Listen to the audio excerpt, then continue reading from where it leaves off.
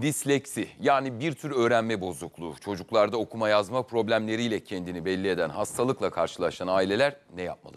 Bu durum tedavi edilebilir mi? Haberimizi izleyelim. Nedir biliyor musunuz?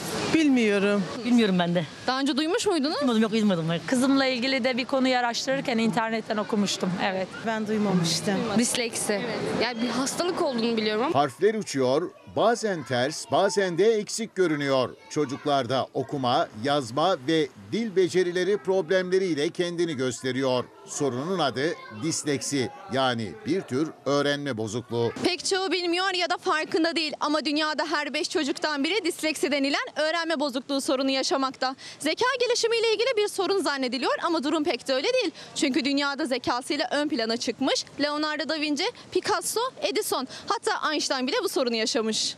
Disleksi e, bir öğrenme güçlüğüdür. Daha çok okuma güçlüğü olarak e, görünür. B ile D'nin karıştırılması, hecelerin ters okunması, kelimelerin yuvarlanması. Disleksinin başlıca belirtileri yaklaşık 60 tane belirlenmiş semptomu belirtisi var disleksinin. Disleksiyi gözlemlemek kolay olmadığı için pek çok öğrenci okul hayatında zorluk yaşamakta. Fark eden ailelerin ise korkmaması gerekiyor çünkü bu çocuklar yaşıtlarından daha zeki oluyorlar.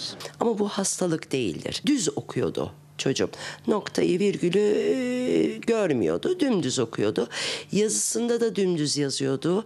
Bazı harfleri de yutuyordu. Doğru bir eğitimle sorun tamamen ortadan kalkabiliyor. Uzmandan destek alınmadığında ise ilerleyen yaşlarda daha büyük problemlerle karşılaşma olasılığı yüksek. Nefes egzersizleriyle bir kısım semptomları giderebiliyoruz. Kimi zaman değişik oyun terapileri var. Kimi zaman farklı etkinlikler var. Nöronların aktif hale gelmesini sağlamaya çalışıyoruz. Onlarla ilgili çok pratik, eğlenceli, keyifli uygulamalarımız var. Bu uygulamalarla da bu problem tamamen tarihe karışabiliyor.